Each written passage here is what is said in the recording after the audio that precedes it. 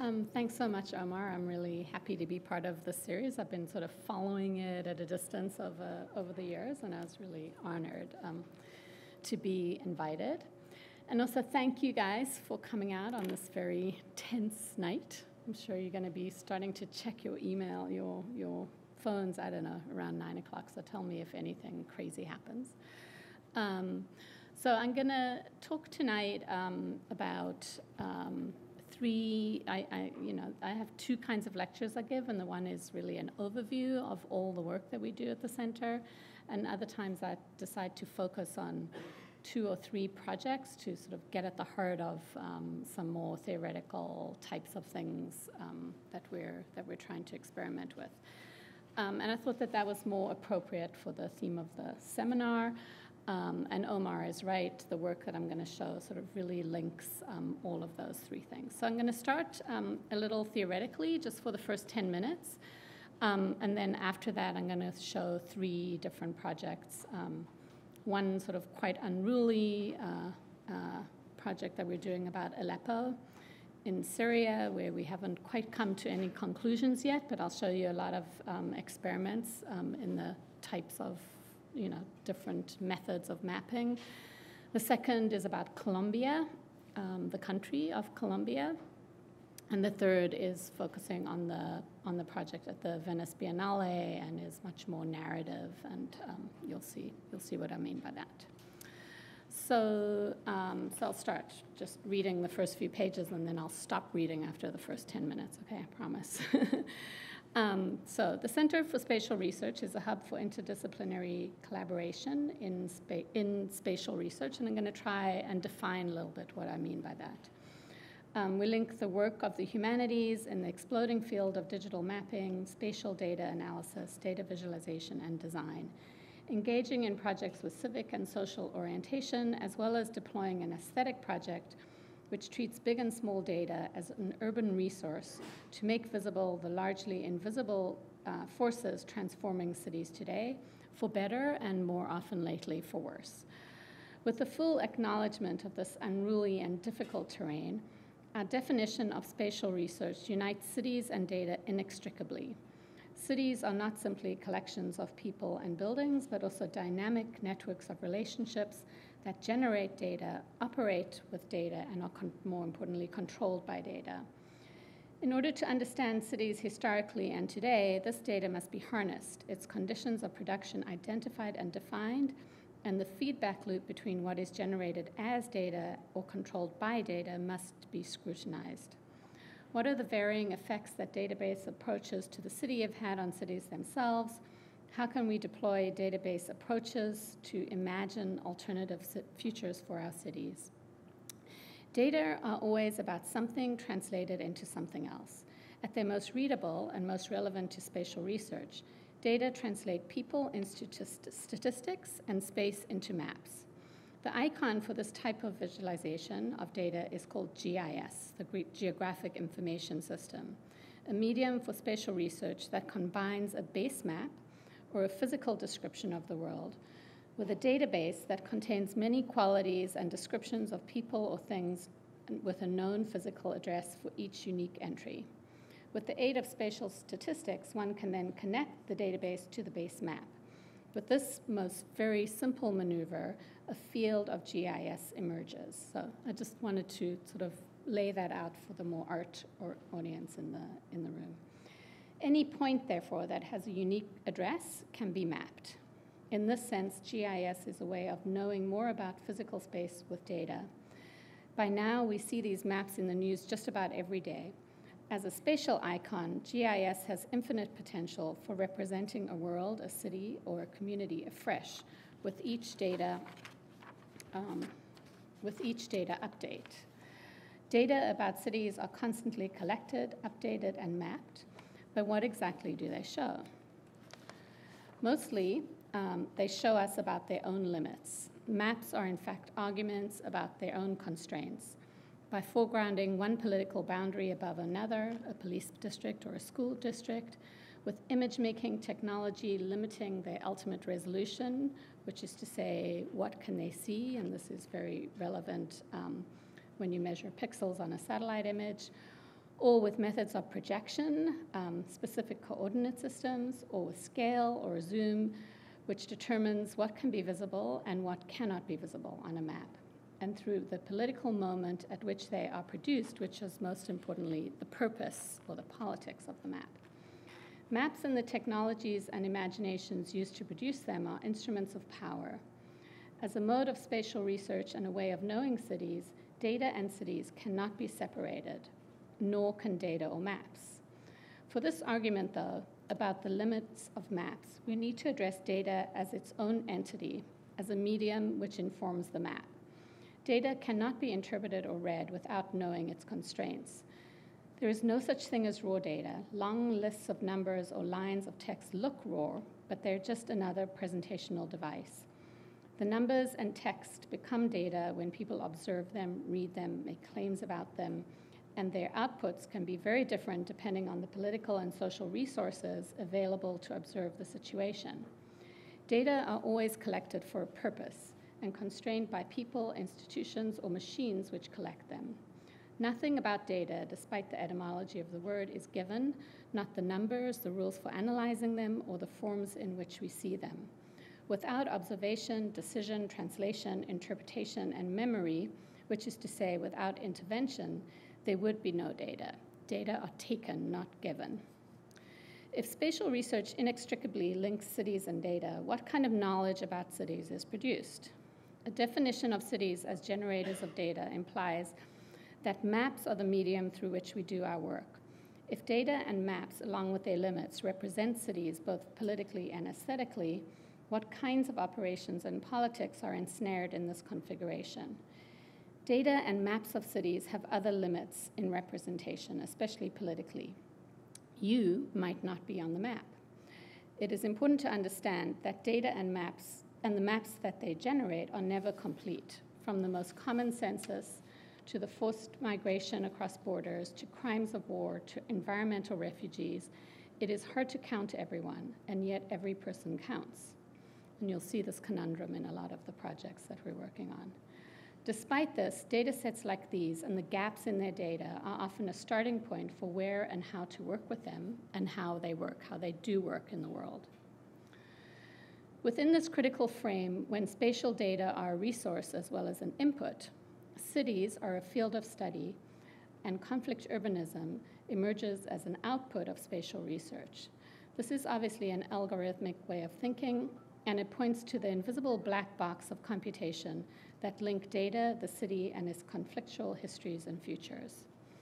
Conflict urbanism has been our research focus over the last three years at the center, examining the role of conflicts of all sorts in making and remaking cities around the world.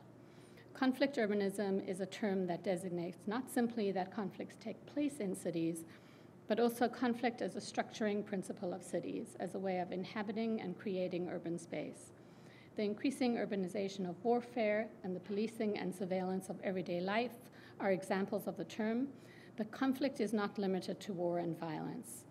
We have worked with a large range of colleagues in the humanities and a number of external partners to map and analyze the ways cities are both destroyed and built through conflict. They have long been arenas of friction, difference, and dissidence, and their irreducible conflictual character manifests in everything from neighborhood borders to differences of opinion and status to ordinary encounters on the street. Bringing humanistic inquiry together with spatial research, data and maps allow us to represent the multiple geographies of urban injustice at the base of the conflict. Sometimes, however, injustice is slow moving, structural, built in, affecting many people over many generations. These types of injustices can be normalized, uh, often by blaming its victims, naturalized, or simply hidden behind apparently objective representations. Maps made with data, when used critically, can be transformative ways of challenging conventional narratives about political and social divisions. With data as a resource and maps as a medium, we are addressing conflict urbanism, literally putting it on the map. Once mapped, conflict urbanism explores the antagonistic dimensions of inequality and injustice as it is expressed spatially in situations of war, displacement, and exclusion. in the course of our work, we are confronting the history of the uses of maps and data to shape urban life. Tied to its capacity to represent the spatial world, data also has the power to intervene in it and change it. Conflicts can and should be investigated with data, but they often turn out to be propelled or propagated by it as well. This insight we find as a call to action. In our work, we have done a lot to visualize seemingly invisible injustices in order to understand the magnitude of this problem. However, if urban spatial data is this powerful, how today can we harness it to shape cities in more equitable, equitable ways? How can humanistic modes of inquiry be, substantive, be substantively incorporated to inform and not merely to interpret these processes? So I'd say that's sort of a turning point um, in the work that, that we're doing lately, and we're trying to sort of transform um, all, the all the projects that we're doing from simple uh, representations to how they might act in the world. And that doesn't mean you have to sort of go outside of the map into the so called real world. Um, you can act in a lot of different ways, and we can talk about that through these various projects. Okay. Um, okay, so as I said, um, each of the projects that I'm going to show is a kind of navigation uh, is a kind of navigation with data. and I'm going to talk about these three different projects. Um, so the title, I forgot about the title, demapping, suggests that I'll suggest that I'll uh, address some of the ways in which ma maps and data participate in the making and unmaking and remaking of space. The cycle involves many invisible processes of change and I'll focus on recent projects that display the limits of this cycle as well as the potential to break it as a form of demapping or a countermapping, using maps to remap the data with which we are working. Okay, so conflict, um, urbanism, Aleppo. We, you, you cannot actually imagine the mounds of data that we had access to and collected and transformed into data along the way. So high resolution uh, satellite imagery, um, a lot of YouTube video, which is not necessarily thought of as a spatial database, which we transformed into a spatial database, and I'll talk about that a little later, um, and an interactive map. So, um, and this is an open street maps um, variation of, of Aleppo, but this set of, do we have a clicker? Uh, don't think so, okay. Um, but the, the neighborhood names on the left are not something that you would have found on OpenStreetMaps. And in fact, that list of names is very difficult to translate between English and Arabic. There's all different variations on it. So what we made and, uh, and sort of allowed people to browse um, the city during these years of the war with a neighborhood um, database and a series of satellite images which were specifically curated for this particular map. So this is Aleppo uh, zoomed in to the, to the Citadel, 2012. Um, 2014, you can already see the damage that has occurred. Uh, 2015, and then 2016. So much of the work here revolved around how to create spatial data sets where they did, had not previously existed. And to facilitate that kind of work, um, the interactive map combines layers of high resolution imagery together with data generated by a branch of the UN dedicated to satellite research, UNITAR UNOSAT. And so now you can see these little dots, which uh, represent damage that was found in the city by poring over these high resolution satellite images, looking at the before and after to see what happened. So the map allows users to navigate the city of Aleppo by neighborhood and browse through our, our archive on, with these four high resolution satellite images. The resolution of the images is 50 centimeters, which until recently had been the highest resolution available to civilians. And if those of you who don't know, you can actually purchase a high resolution satellite image. So this is not like the Google map that you uh, that you use every day, you can purchase an image of a very specific date at a very specific time and use it to investigate specific events that you think you know have occurred. So um, the high resolution imagery that we make use of here, and that's the basis of a lot of the last book that I wrote, um, were declassified and generally made available about 15 years ago, but they're still extremely expensive to purchase. Um, along with that, um, we've, we've, so this in, in fact is a drone video, um, which I'll talk about later, and it was not made by the military, it was made by an activist organization called the Aleppo Media Center. So in the end, what we've done is created an archive and a resource which we hope will become useful as a framework for documenting crimes of war, as well as speculating about how Aleppo might be rebuilt in the future. Um, okay, and so here's the UNOSAT image, and this is the final map of damage um, of the whole five-year span of the war, and I'll talk about this um, split in the city. So it's really important um, in our project to clarify um, that it's, it's not about um, refugees, although refugees were the result, the, um, were the result of, of, this, of, of the war. Um, but we decided to focus very specifically on urban damage in Aleppo. So that's where the conflict urbanism theme comes in. Um, and we did that for a reason. Um, Raphael Lemkin's concept um, of vandalism serves as a motivating rationale and theoretical frame for all of the work we've done on Aleppo. A Polish Jewish lawyer, Lemkin coined the term genocide during World War II and campaigned tirelessly for the Convention on, on the Prevention and Punishment of Crimes of Genocide, adopted by the UN General Assembly in December 1948 and entered into force in January 1951 after 25 state, uh, after 20 states had ratified it. But already in 1933, Lemkin described what he then called offenses against the law of nations, term in terms of two interlinked concepts, barbarity and vandalism. He understood barbarity as primarily as acts of extermination, targeting ethnic, religious, or social collectives, and vandalism as the systematic and organized destruction of the arts and cultural heritage in which unique genius and achievement of a collectivity are revealed in fields of science, arts, and literature. And that's a quote from Lemkin.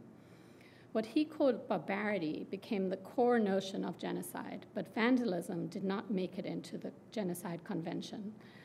It is, however, reflected in the 1954 Hague um, Convention for the Protection of Cultural Property in the Event of Armed Conflict, which became effective in 1956. Although recent developments in international criminal law have incorporated the destruction of cultural heritage into the understanding of genocide, the UN Tribunal for Ex-Yugoslavia noted in one decision that, quote, where there is physical or biological destruction, there are often simultaneous attacks on cultural and religious property and symbols of the targeted group as well, attacks which may legitimately be considered as evidence of an intent to physically destroy the group, unquote. It was only recently, uh, or in September 2016, that such attacks themselves that such attacks themselves were found to constitute a war crime. Judges in the International Criminal Court in The Hague sentenced Ahmed al Faqih al Mahdi to nine years in prison for his role in demolishing historic Muslim shrines in Timbuktu. The case marks the first time in an international court um, where they have convicted a defendant for the destruction of cultural heritage as a war crime. In this trial, however, the burden of proof did not rely on the prosecution, since al Mahdi confessed to this crime, and so in the future it might remain difficult to try this erasure of culture in a court of law, and most of the time this attempt has failed repeatedly. So, in the midst of this civil war in Aleppo, we have created a map to assess damage to the built fabric of Aleppo, Halab, one of the oldest and often said, most continuously inhabited cities in the world using satellite image images. So um, this project actually was displayed at the Istanbul Design Biennale. Um, and um, the theme of which was what, what is it um, to be human? And they framed the, the whole exhibit as two seconds, two days, two years, 200 years, and 200,000 years. Um, and we used that provocation actually, instead of saying we're going to be in one of these scales, we said Aleppo is actually all of these scales combined into one. So of course, a satellite image is a split, you know, a split second in time, and we had three of them. Um, then there was the fact that two days after this image was taken in 2012, um, the the mosque of it, the you know the oldest mosque in Aleppo was destroyed. Two days later, we thematized that as the two days. Um, over the five, then for two years, over the five years of the civil war in Syria, many buildings and neighborhoods in Aleppo have been destroyed, extending far beyond the souk and the old city. Craters mark the buildings and streets and parks, and a conflict ecology has become visible in the overhead images. That's this kind of haunting green of the 2016 images. Three satellite images tell us some of the stories of this ongoing erasure and its varied aftermaths, deaths, departures, and haunting green growth of vegetation that has come to cover and identify the damaged spaces. It too is an outcome of the war and a sign of ne- neglect and inattention, some purposeful and some inadvertent. Um, and then there was this amazing thing that in uh, Istanbul, our project was displayed in the Archaeology Museum and there was actually in the archaeology museum a, column um, from one of the previous wars in Aleppo, where the symbol of the victory was taking this column and putting it in the, taking it to, to Istanbul. And it, it's proudly displayed there as well. So it's part of this whole looting um, of one culture, displaying it in another, which is something actually Ariella Azoulay um, is beginning to work on, and we, we sometimes talk about working on it together, and instead of a migration of people, a migration of things. Um, and these can be tracked from one museum to the other because of these records that are kept um, in museums. So, in terms of the 200,000 years, it also, um, uh, Aleppo, I don't know if you know about this, it's a seed vault, it's a backup of um, seeds all over the all over the world that have that are in danger of extinction, and you can keep your seeds here in uh, Norway.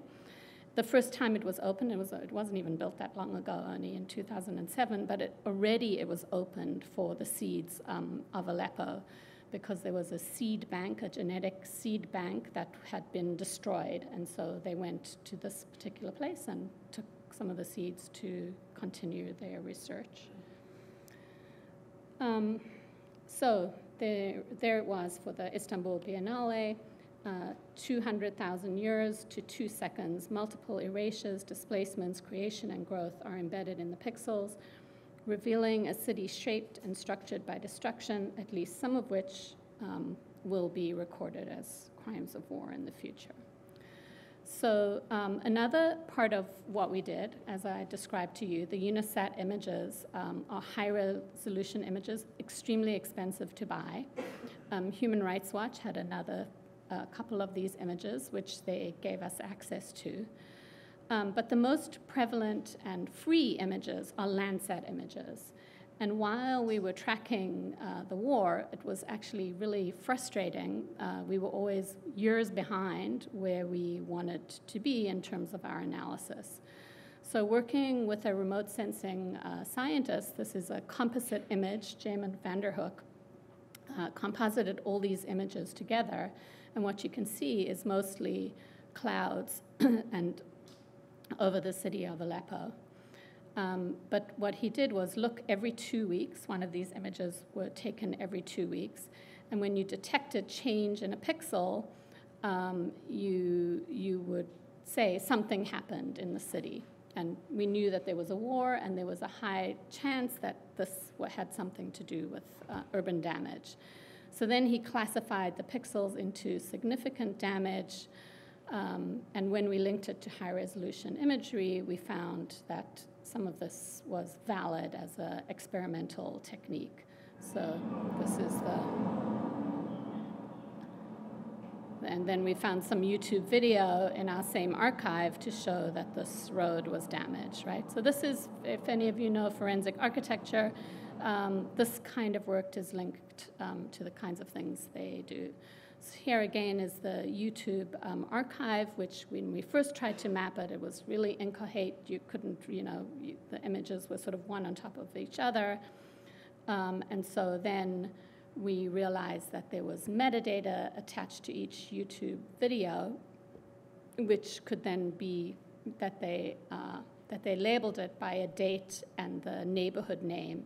And so we could then make a map of three um, very activist um, YouTube uh, uh, channels. They, they, actually were called channels. Um, particularly AMC has a really amazing um, range of videos, which if you if you click on it and you start browsing these videos, you you can look at you can look at some of them. HNN is the Halab News Network, and the White Hel- Helmets, as we know, they're very controversial. Um, but these were the YouTube channels that were used by newspapers uh, worldwide because it was too dangerous for journalists to go to Aleppo. So there was this whole question of what was the validity of these videos. Um, so by, by selecting uh, channels that we knew was somewhat trustworthy, we've now created an archive which is there for future use. And we've used some of it ourselves. Um, we've made these absolutely insane timelines um, trying to link YouTube video to Landsat imagery to high resolution imagery and are starting to work our way uh, through various stories. Um, one of which is trying to understand the geography of the city, which before the war there was a massive uh, master planning effort by the Assad government um, trying to think about what to do with the many in so-called informal neighborhoods on the east side of the city. Um, this is actually the many of those neighborhoods became the first uh, locations in which the battle uh, was established. Um, so here, for example,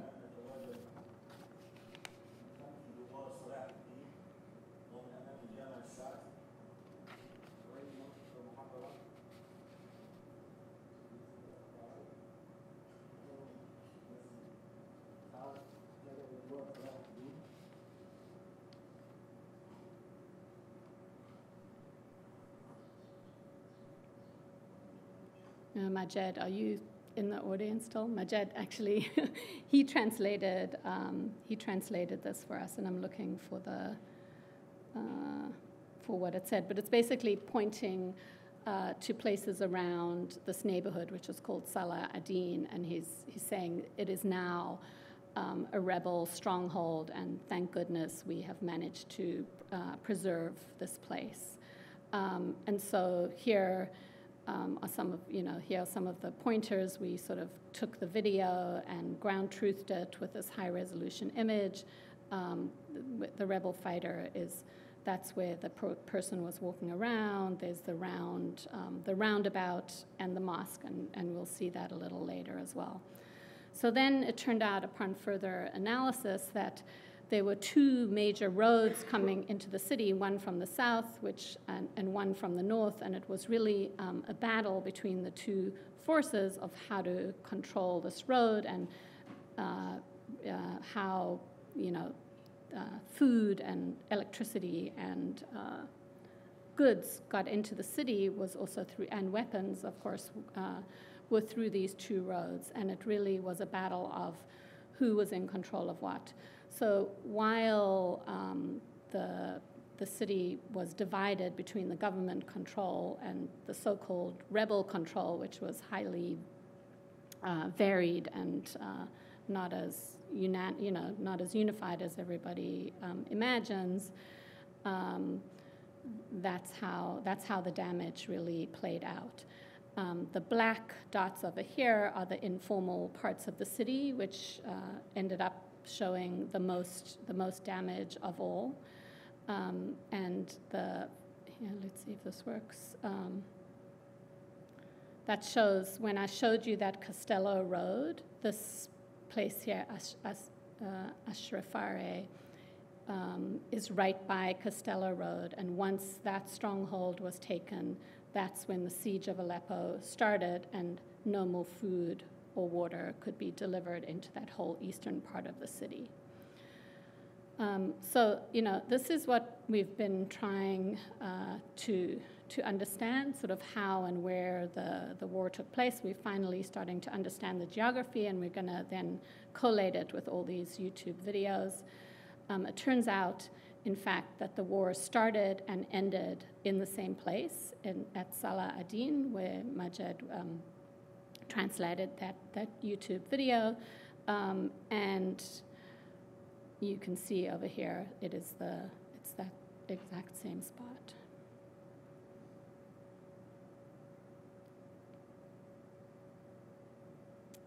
So, and this was the final uh, drone video that, in fact, was published by the New York Times just days before um, the, the war ended, and this music was all designed by them. Um, and so this channel, the Aleppo Media Channel, um, we, we started trying to communicate with them. I had a few students who spoke Arabic, um, and it was just shocking to me that in the, the New York Times, they they, Michael Kimmelman talked about this as an abstract military video because of the overhead view. It was abstract. You look, you can't. People are too so tiny. Um, you know what is what is this trying to communicate? Whereas in fact, it was made by uh, one of these this video collective to try and show the world how you know how devastating and total the damage actually was. Um, and so she communicated with him, and he did not even know that his video was on the front page of the New York Times. Uh, the New York Times did not even attribute the video to a specific person. Um, so if you look at our if you look at our website, that whole communication between Nadine and the author uh, of many of these of these videos is um, is really amazing and very kind of moving. So that's where we are um, with Aleppo. Um, it's just a giant archive um, ready to be uh, interrogated even, even more. It's really, I consider it a really unfinished, uh, a really unfinished project. Uh, don't quite know how to finish it, if, if it ever will possibly, you know, even if it will be finished. So, but there will be many more stories that will come out of the combination of the specific times um, and the types of video. So here is a completely different project, right? You saw there were like 100 different uh, types of data that we were, that we were analyzing over there. Um, and this um, is a map right here of the 50 years of the, of the civil war in Colombia in South America. So, at a first glance, it is extremely difficult to grasp the scope of the Colombian conflict. It spans more than 50 years and covers most of the country's territory. It even crosses borders into neighboring Ecuador, Venezuela, Peru, and Brazil, and it includes multiple actors from both the right and the left who at times have fought against it and at times profited from illegal drug business and it has been shaped and reshaped by a multiplicity of political and socioeconomic forces and has generated millions and millions of victims of displacement, homicide, massacres, and sexual violence. More recent developments include a long and controversial demobilization project by far right wing paramilitary groups and the current peace process with left wing guerrillas of the FARC, which have polarized the country. The most recent peace accord has been in the making for more than four years and produced an agreement that was signed by the government and the FARC and then rejected by the Colombian people through a referendum, only to be modified and approved again by members of the Colombian legislative body. As a part of this ongoing peace process, the government has been collecting um, uh, surveys um, of, of, victims of violence uh, in the hopes of uh, giving them reparations, right? So this is a huge database that is collected by the government. So with that, it carries all the biases that come along with it. But, um, um, but it's the most complete data set that, that there is of what happened over the 50 years of the war, or one of the most complete um, sets of evidence. And so, um, what we wanted to do actually was to track internal displacement, right? You often hear about urban rural migration, you hear about migration across borders, and most of the time, I've, we've even made those kinds of maps in the center. It goes from center of country to center of country because as soon as you have 5,000 people crossing a border, you can make a map. As soon as you have 5,000 people internally displaced, you can draw a line, but you don't really know where to draw a line from and to. And because of this incredibly detailed database, and we got a little bit more uh, granular access to the data through Juan Saldarriaga, who's from Colombia, and he had um, uh, relations over there that, that helped us get this data. Um, and we made this map, which really shows where people moved um, from and to. So let me show you. Sorry, these files are quite big.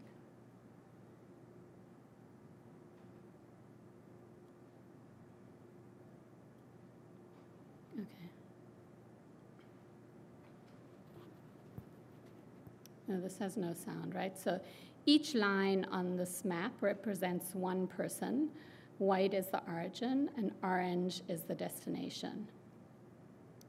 And so it just starts in 1985, and we just visualize this data set. Um, and I'm not going to sit here and play it for you for 10 minutes. You can look at it on the website. But what's amazing is that you start seeing patterns um, of intensity of the, of the war. So, and starting in the late 90s, um, it really does get totally packed.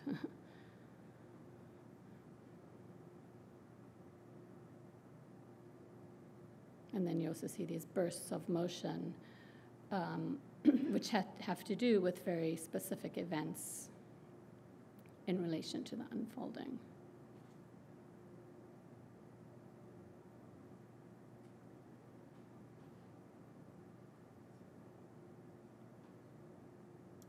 And so then we went from there um, and zoomed in on some specific moments where you can see the relation, can you, can you read things? Yeah, of a specific event to what is going on at a particular moment in time.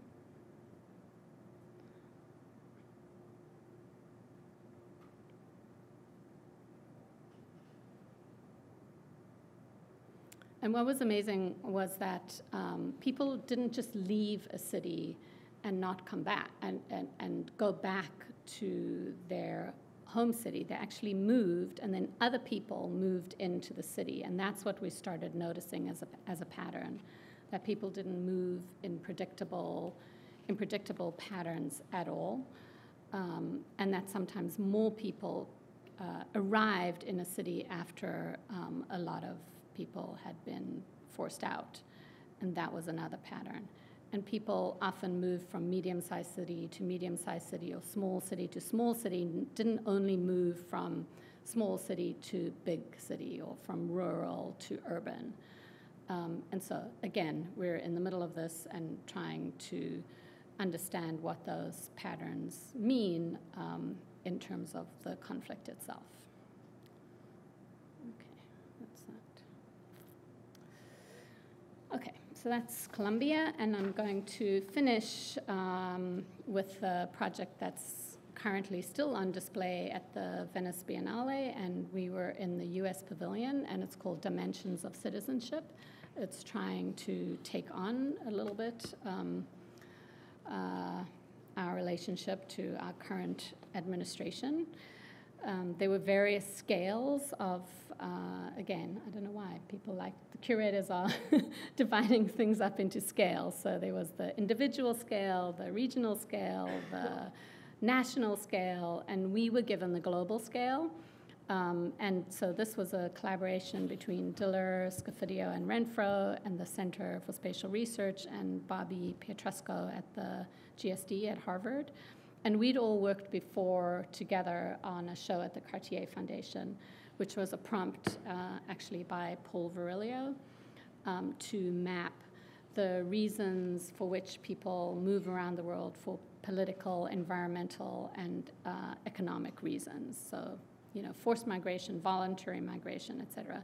So they wanted to re-show that, um, that exhibit. It just didn't seem to make sense. Um, so we did, we did something new. Um, and here's what the, okay, so here's two globes. They're actually produced by the same satellite, the Suomi, the Suomi, the Suomi satellite.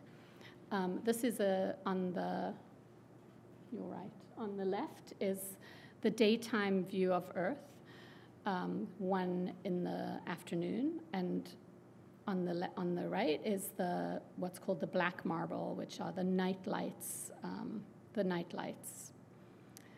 Um, so when I look at an image like this, um, most of the time it's, it's framed as connectivity, as the ways in which you know, humans are connected to each other through electricity, through economics, through financialization. I look at this map and I see gaps. Um, and so we kind of had a hunch that this that on this map there there would be um, many populations where there were people and no lights, and many uh, parts of the world where there would be lights and no people.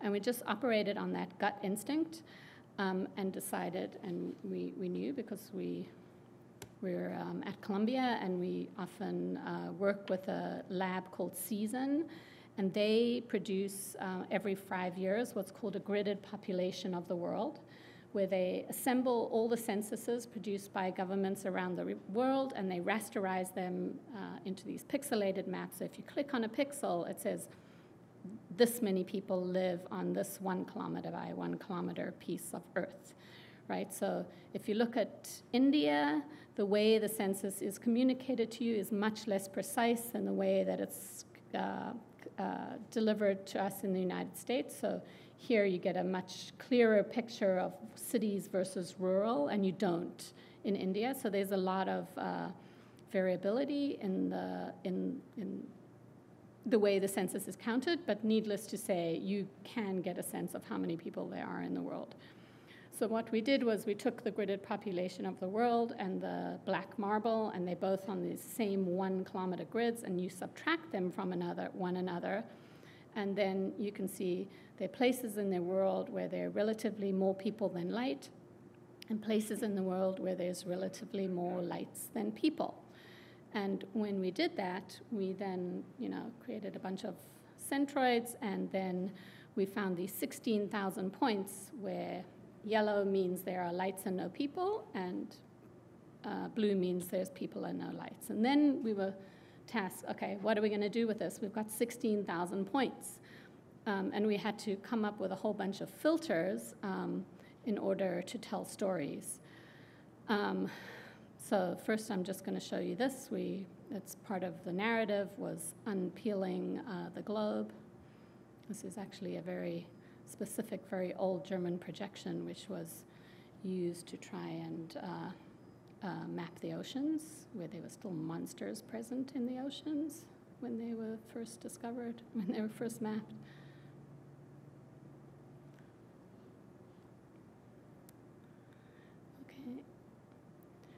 Um, okay, so then the first scene was talking about the, the fact that the absence of light does not always mean the absence of people.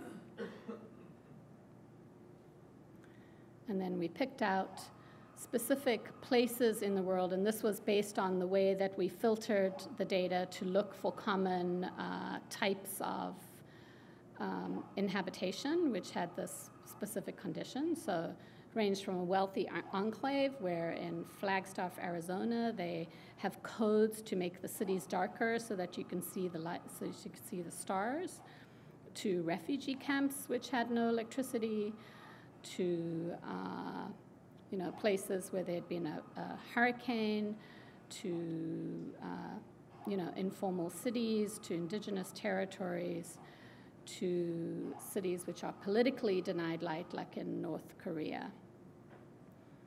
Um, and then that sort of zoomed in. And so here you're seeing the most basic pixel, which is, you know, these are these eight abstract uh, definitions of darkness, and that faded into a daylight uh, view of what was there, and you could see what was dark had a lot of, obviously, a lot of buildings, uh, a lot of evidence of human habitation. Um, so the next and this became a more narrative uh, part of the part of the show where we zoomed in on specific places. So this is where there's lights and no people. And again, we filtered the information industrial farms, power plants, ports, tourism sites, natural gas extraction, fracking, that kind of thing. And again, it shifts into the daylight view of those spaces. Hmm? No, not, doesn't, okay. Yeah, okay. So then from there, um, we zoomed in and we told three stories um, about these conditions. So this is in the DRC in Africa, in the Democratic Republic of the Congo, where there was um, a copper mine, um, which had this condition of bright lights and no people, um, linked to a dam um, on the other side of the, literally on the other side of the country, um, and a high voltage power line which connects the dam to the copper mine, which needs, as you can imagine, a lot of energy and electricity. And many, many cities and villages and towns along the way, which showed up in our uh, black marble as people no lights. And this condition, where there's that kind of inequality, is a very common one um, around the world. And from that type of uh, pattern, we then narratively tried to link that to 128 uh, places around the world. But first, these are the eight um, pixels showing the dark places, and you can see the numbers of people that are actually living there 22,000, I can't actually read it, 146,000, 2 million, you know, significant uh, amounts of people with no electricity at one in the morning. Doesn't mean, you know, that's a common. And then these are the um, the Glencore mines all around the world. They own 225 uh, mines, and if, I'm sure if you looked, if you zoomed in on each one of them, you would find these kinds of uneven conditions. So we did that, and then these just sort of spread out. Those are the actual pixels, one kilometer by one kilometer.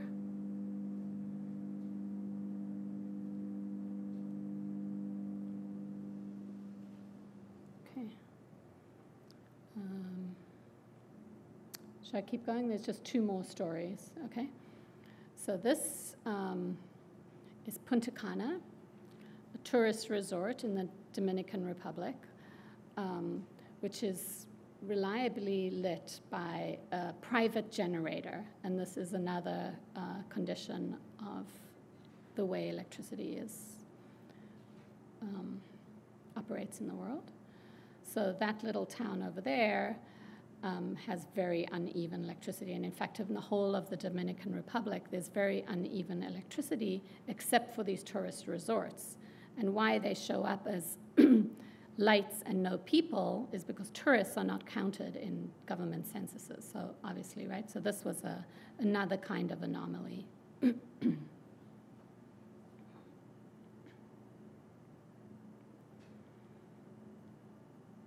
And the public ut- utility is, if you talk to anyone from the Dominican Republic, it's really inconsistent supply.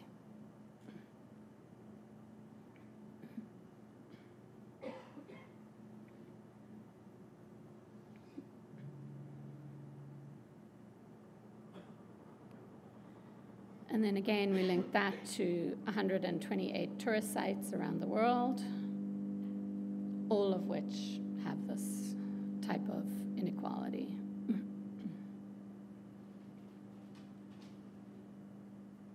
and often very close to the ocean. so you can see in the images.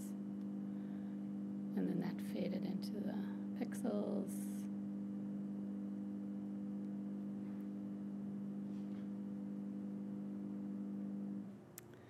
Okay. And this um, is Peru. This is a bright spot. That's one of my favorite images, a bright spot of light in the Amazon. Um, where there's uh, natural gas extraction, fra- fracking.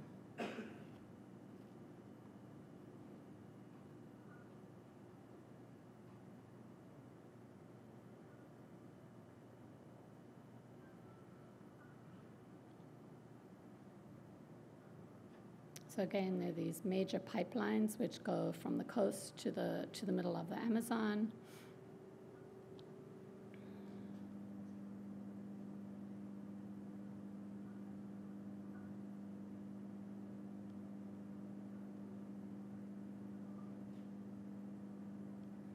And you know, this case is it's it's very complex because you don't want to say uh, indigenous people don't want electricity, but you also don't want to say they need electricity. Um, and so there's a very sort of double uh, double negative, um, and it was it was very hard to to pinpoint um, what the collect, what the correct political argument is. But this natural gas extraction um, around the world is in very similar is in very similar situations.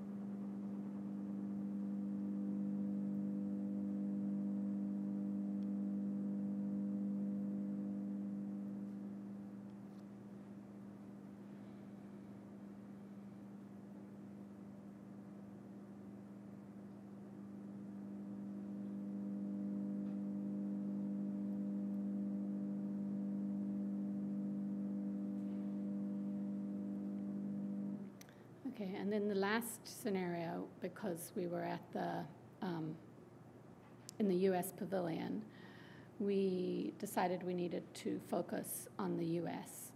Um, and the U.S. supposedly has 100 uh, percent electricity delivery, um, except in in situations um, where there are natural, so-called natural disasters and hurricanes, and um, we were looking at Houston and Puerto Rico, which had hurricanes just one month apart from each other.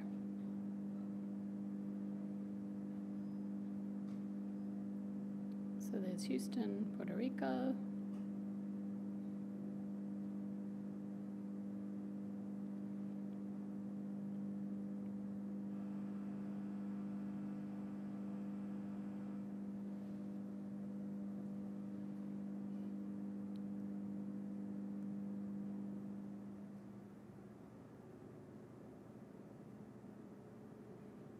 Okay, so just while this is uh, playing out, it's actually really easy to read the, the message of this.